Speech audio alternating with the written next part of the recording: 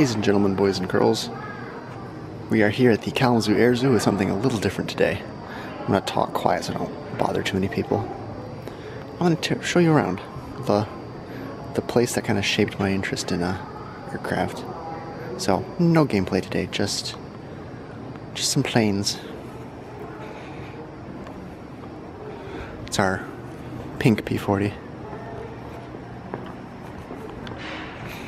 Let me give you a nice overview of the main room.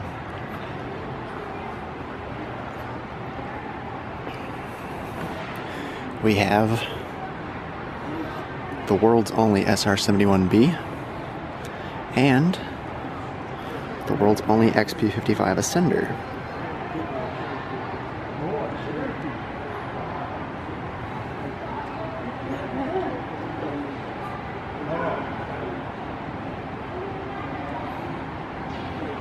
We're not going to be taking any of the rides today, though.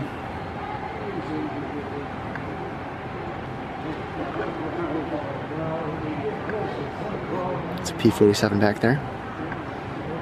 P-39. F-14. F-18. So, let's take a walk around.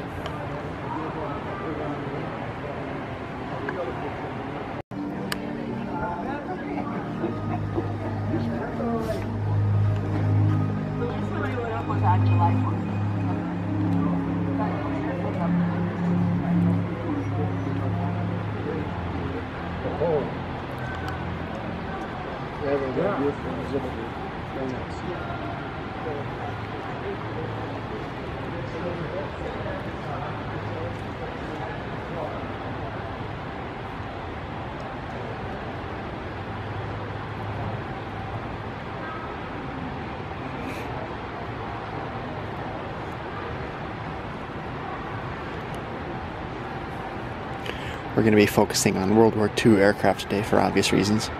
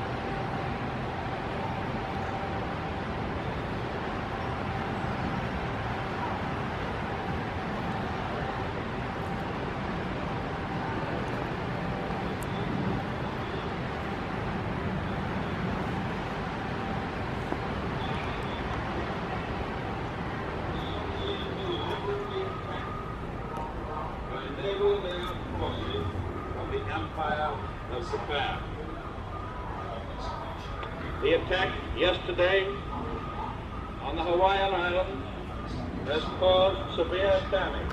See, now this is new since I was last here. Uh, I'm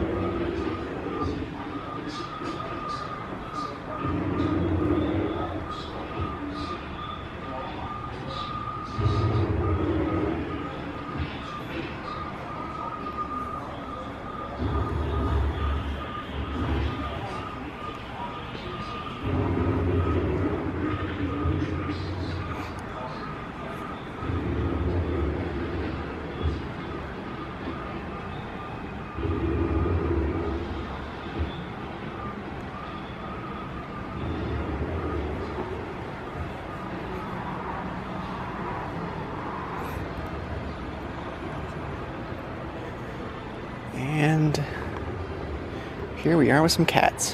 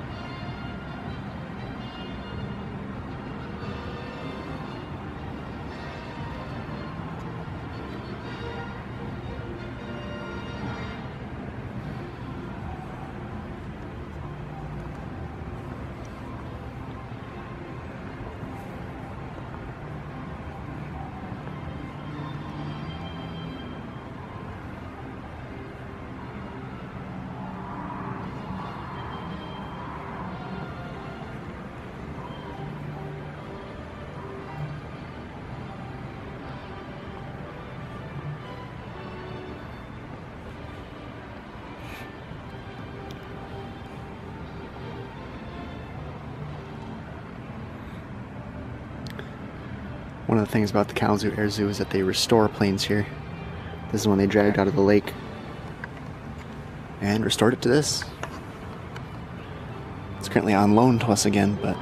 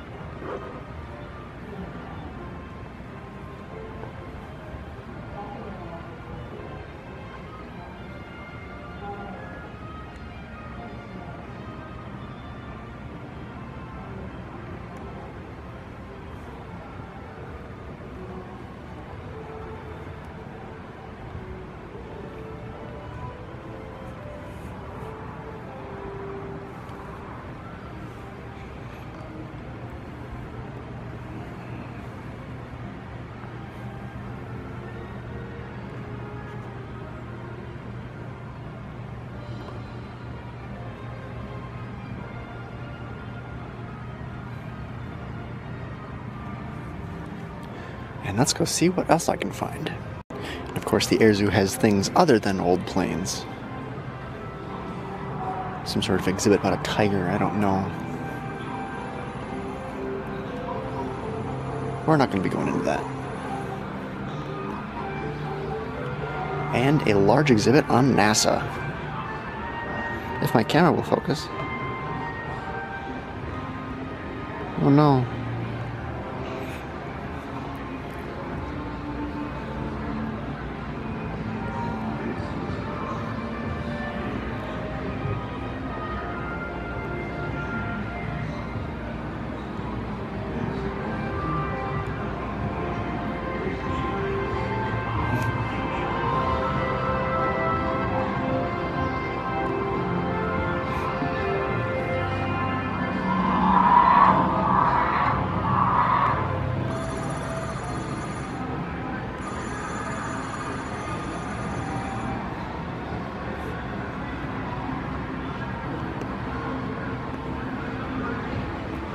We're not gonna go into the infinity room. Nobody wants to see a billion of me.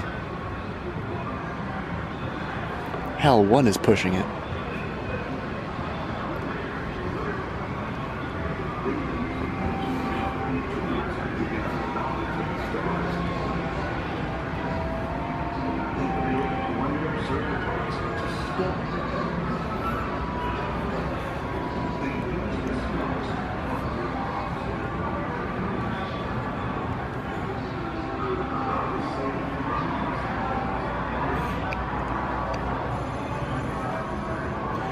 I'm not going to spend much time in here. It's not to my interests.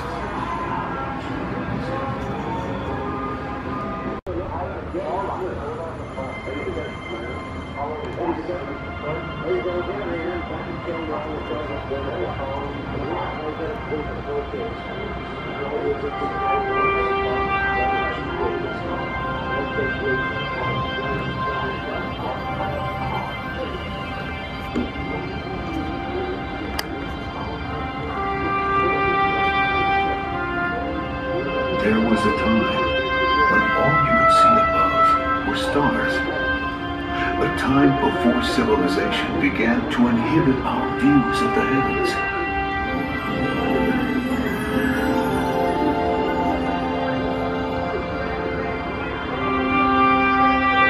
It was a time our imagination soared when we looked to those sparkling lights in the sky.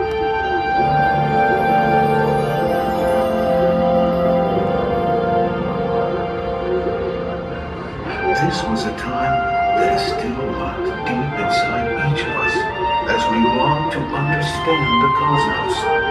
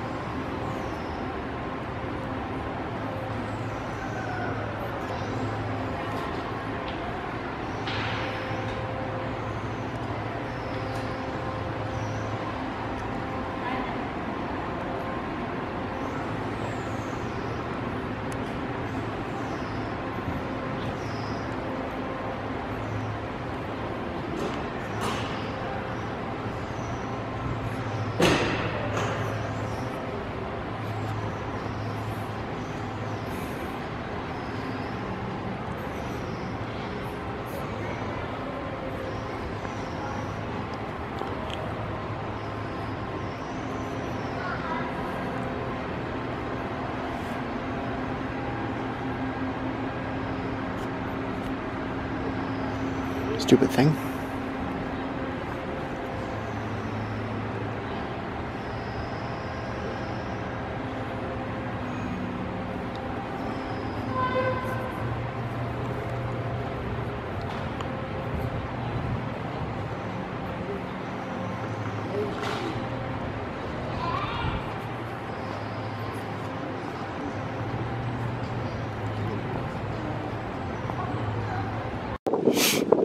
As you can probably tell from the blowing wind sound effect and the snow, it is colder than a witch's tit in Kalamazoo currently. So we're gonna make it a brisk walk. Kalamazoo Air Zoo is right next to the Kalamazoo uh, Airport, which is just over there. So we're gonna just hurry on. I've actually never been over here. Uh, let's take the let's take the paved.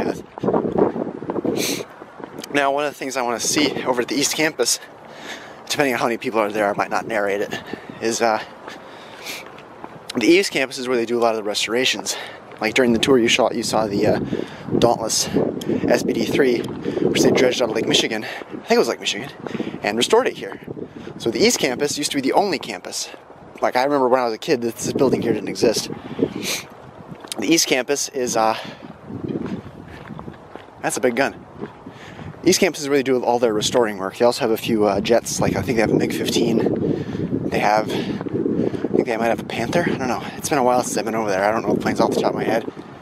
So we're gonna go over there. We're gonna go see how their how their current restoration project is going. I think it's a Wildcat, if I remember correctly. Last time I was there, it was just a couple of wings and a like taken halfway taken apart engine. I am looking forward to seeing how they're doing. So I will be right back.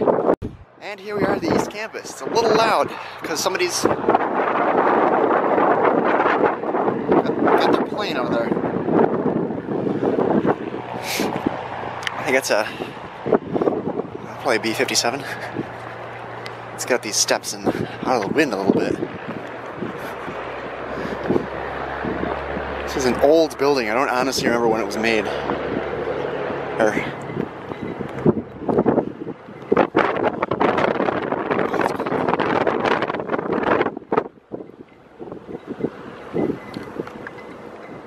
G B57B.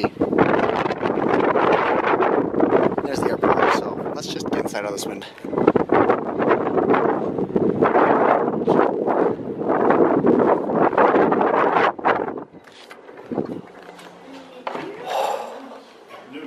Afternoon. Joining us from the other building? Yeah, it's a little chilly. Can I see your badge? Yes. Okay, great, great. Yeah. I have a Been here random. before? Oh yeah. Oh, okay, I okay. have a uh, random question. When was this? Do you know when this building was built? Well, I don't know when it was built. I know it became an air zoo about 1969 or something like that. 70 right in there. Used to be a Piper Cub repair facility. Piper Cub airplanes. Really? Before it became the Air Museum. Huh. Yeah. I didn't know that. I jeez, it's been here as long as I can remember. I had to. Yeah. I guess it's been a long, Yeah, so it, been a, been a long time. I think things were, like this area we're in right now might have been added on to the uh, hangar. If it was, it was Or- at. It was before the other- Or it's the other way around, and the hangar was added on to this part of the building. I can't, I'm not sure which, they told me. Let's see. It's been extensive remodeling. He was able to keep years. control Oh, of the yeah. aircraft. All right, cool. Thank you. Yeah, sure.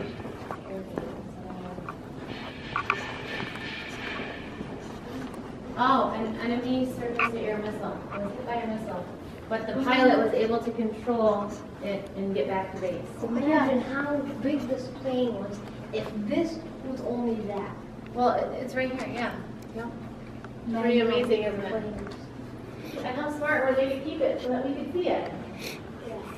A10 engine Thing calling. is, you need to find a spot over here to stand while I use it. Nothing was made like this. This was all belong. Can we go over there? No, you can, right here. Now let's get down their property. But that answers the question, doesn't it?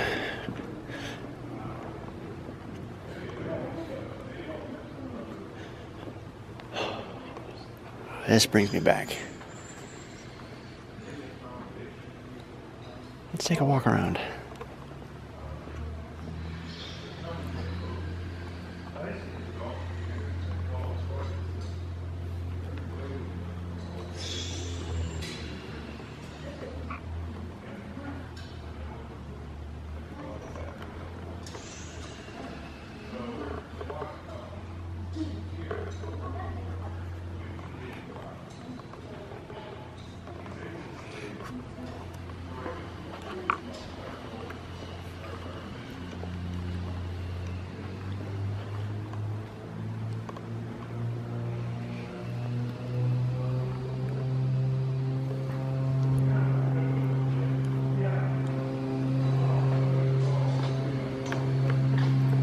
You know, considering the people who fly these in War Thunder, it's a pretty apt name.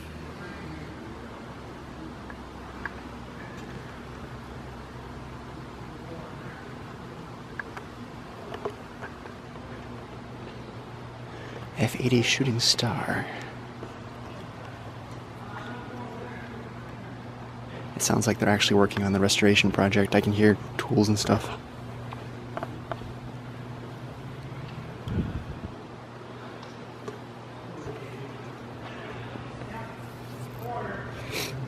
This looks like it's been restored since I was last here.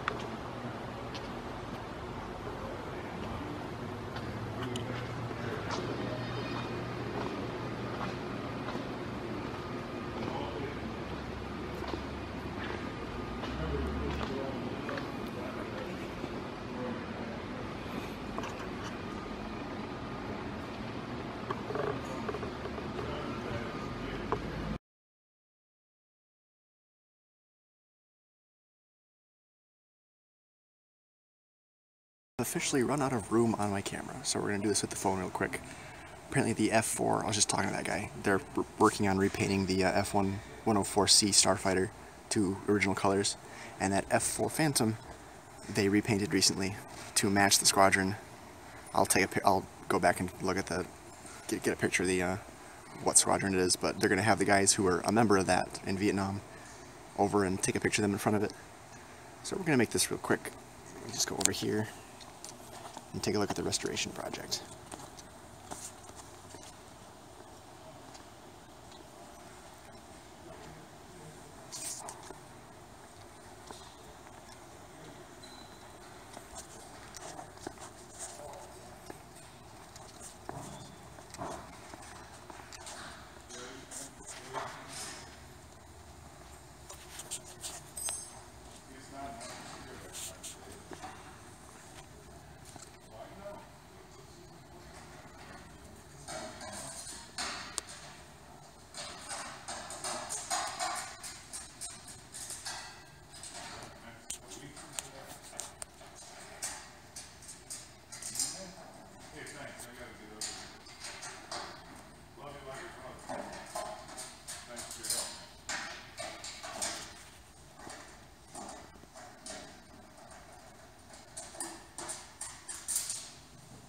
Okay, all the screws on that side should just back up.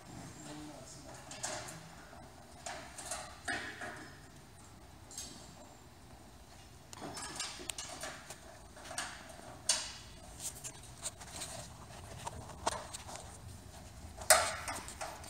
Hello. Good.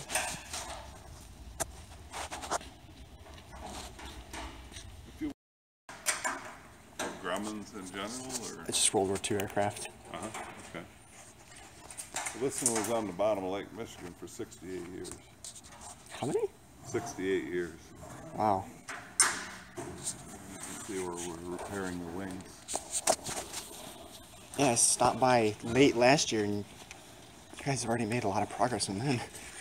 Yep, the, uh, new flaps, we built these flaps from scratch. Got the repair, most of the repair work done here on the, the wing. Uh, here's an example of the befores and afters, unusable, new. Perfect replicas. Uh, these are the cranks you use to release the pin to fold the wing. Oh. If you come over here, I'll show you one installed.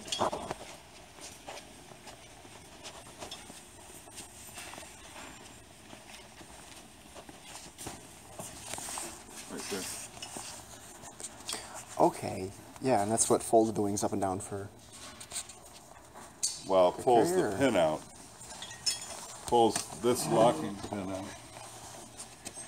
Okay. so that the wing can be folded. Right, right, okay, yeah. And they stow inside the wing. But when you're ready to unfold, you move it up like this, push it down, and then start cranking. Of course, this is upside down. Right now. Yeah. Then that pulls that pin out, so you need to have someone holding the end of the wing so it doesn't like swing, Okay, yeah. because it'll, it'll, you know, go like this. So You want to have somebody holding the wing on, and then until you pull this pin completely out. Then while you pull this out, this flag sticks out, which is painted red, it'll stick out about this far to tell the pilot, it gives him a visual, that if he looks out and sees this red tab sticking out of the wing, that means that pin isn't in. Oh. Okay, so yeah, yeah, don't take off with a the. visual indicator telling you that's not locked, or it's not fully engaged for flight. So when you when you guys restore this, do you restore it to like flying condition? Not this one. Most airplanes that we restore, we do, fly, do it to flying condition. This one we're not, it's, the, it's owned by the Navy. They just want all the damage repaired, all the corrosion replaced, or, you know, replaced with new. Uh, this'll probably be, it'll look like it just rolled out of the factory when we get done. It'll have all new paint, all new plexiglass, everything will be repaired. Wow, And then it may be hanging at Navy Pier.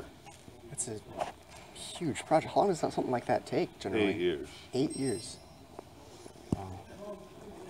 But here, you know, you can see the befores and the afters. And here's another example. Here's a part. This is a control horn that would have bearings in it for the control system. Well, it's not usable. Yeah.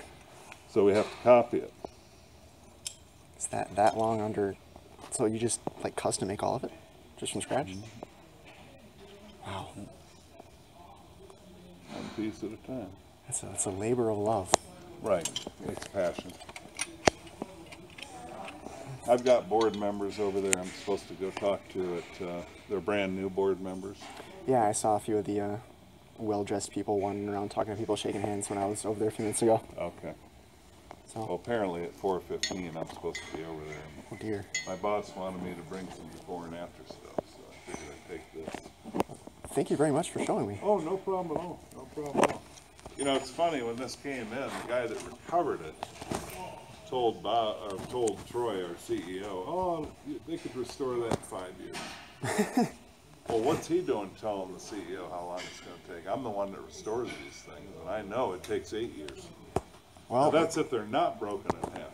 I remember when the Dauntless was finished. That was See, that absolutely one wasn't amazing. broken in half. True. But we did de-skin it. I mean, it was completely apart. The wings, the ribs, the stringers, everything was laying on benches and in boxes. oh wow. That was the difference between the SBD and this. It was, uh, not built by Grumman. See, the Grummans are anodized. So you don't have to take them apart. The corrosion isn't bad. Now, we'll sand all this down to bare metal and reprime and repaint. All right. We'll have a new paint job. I, I can't wait to see it. I'm gonna have to come in and when, when the Nature Center does the reciprocal membership thing, I'll probably stop by a bunch Sure, then. sure, that's in May. I think. Yeah. I, I work over at the Nature Center and we get a lot of people from the area. Here you can see new parts that had to be made where we didn't have any. See, thieves went down to the bottom of the lake, two hundred feet down, and stole parts off these things. Why? Just for scrap? There must be a market for it, like a black market or something. Huh, maybe like historical souvenirs, They maybe? Flap. So we had to build brand new flaps. I don't. They stole the elevators and the rudder. That's weird. Like, it, it must have been all they could take for scrap or something. Well, no, I don't think that you dive down two hundred feet to the bottom of Lake Michigan to get a piece of scrap metal that's light, you know, for the money. There must be a market for it. It's got to be. All right, well, thank you very much. Oh, you're welcome. No problem at all.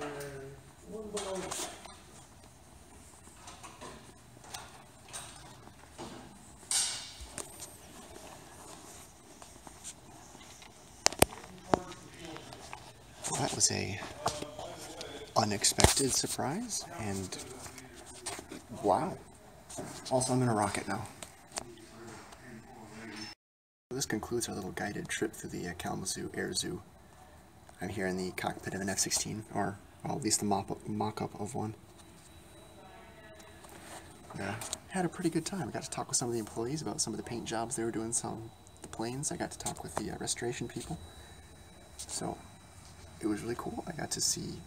I've, I've always loved this place. It's it's absolutely amazing. If you can stop by here sometime, if you're ever in Michigan, I suggest it. Hey, look, there's a plane taking off over there.